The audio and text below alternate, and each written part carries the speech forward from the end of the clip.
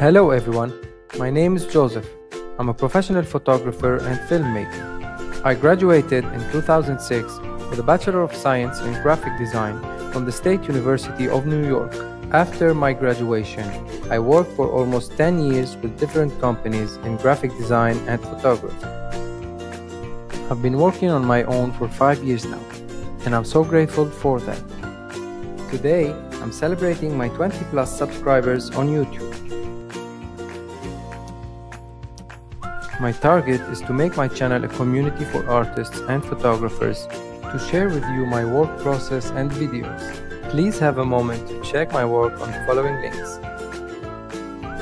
Don't forget to subscribe to my channel and click the notification button.